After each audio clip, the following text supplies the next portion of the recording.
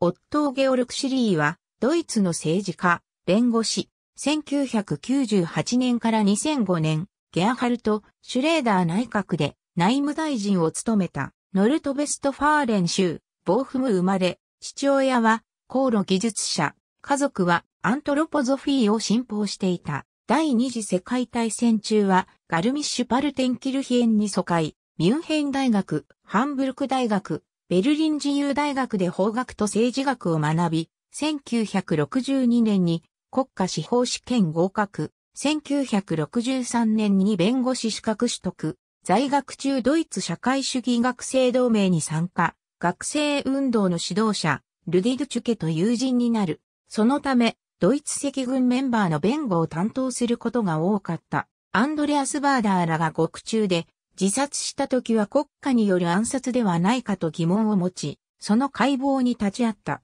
ペトラ・ケリーと連邦議会選挙直後の記者会見に臨むシリー1980年、緑の党の共同設立者の一人となり、急進派の一人として知られるようになる。1981年に西ベルリン市議会選挙に出馬するが落選。1983年のドイツ連邦議会選挙で初当選、吉カ・フィッシャーらと共に緑の党最初の国会議員の一人となり、緑の党連邦議員団に所属。この頃には現実派となり、社会民主党との連立を模索した。当時緑の党は連邦議会の議席を党員で持ち回りする党旗だったため、1986年に比例名簿上の他の党員が繰り上げられたのと入れ替わる形で議員を辞職。翌1987年の連邦議会選挙で再選された。1989年、緑の党代表に立候補するが落選、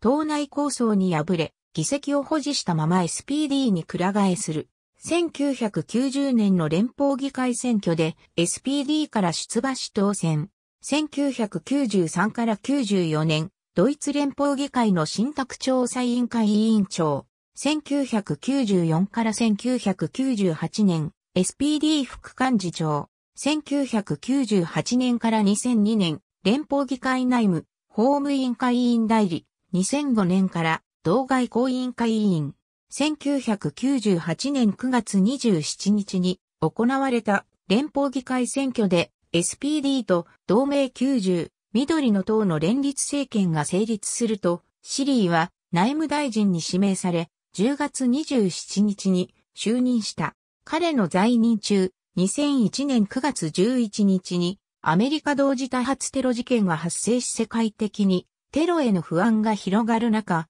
治安維持強化のための法案制定の責任者となった。彼が打ち出した多数の法案は彼と同盟の通信販売会社オットーにかけて、オットーカタログとマスコミに呼ばれた。2001年には、極右政党のドイツ国家民主党を禁止する法案を提出したが、法案が連邦憲法裁判所に違憲と裁定され、撤回に追い込まれた。また内相として、生体認証パスポートの導入を進め、2005年10月から発行が始まった。在任中に急速に進んだインターネットの普及に対応して、ハッカーやインターネット犯罪に対処する計画を発表し、連邦情報保安局に担当させることになっている。2002 FIFA ワールドカップの際は、フーリガン対策で日本の警察に協力、ドイツ代表チームが勝ち進んだ決勝戦に合わせて来日し、シュレーダー首相らと共に観戦した。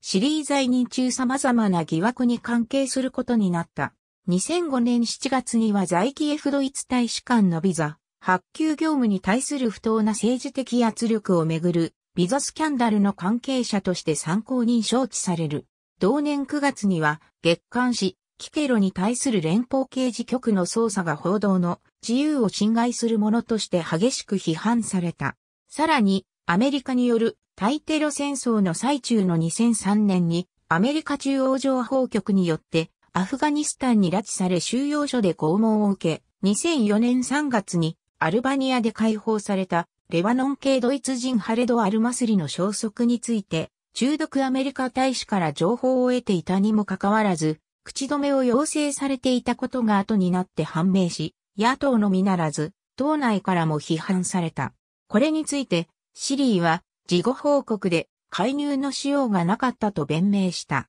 また連邦裁判所に禁止されたオンライン秘密捜査命令に署名していたことも判明し、法学者から組織的な違憲犯罪行為と非難されている。2005年9月の連邦議会でシュレーダー政権の退陣が決まると、10月18日に内相を辞任、アンゲラ・メルケル政権が正式発足した11月22日に離職した。対テロ戦争、移民流入の制限、個人情報保護などを隠れみのに、市民の権利を制限して監視社会を作ろうとしていると揶揄されるなど、立場上仕方ないとはいえ総じて国民受けが良い方ではなかった。退任後は、生体認証の技術を開発する複数の企業の監査役に就任し、癒着ではないかと批判されている。2009年の連邦議会選挙に出馬せず、政界を引退した。2004年にドイツ連邦共和国功労勲章大功労十字章を